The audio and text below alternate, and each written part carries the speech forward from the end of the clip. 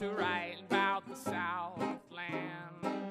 They love to feast their eyes on Carolina sky. Whatever they write, whatever they say about the Southland, it's not exaggeration, it's not imagination.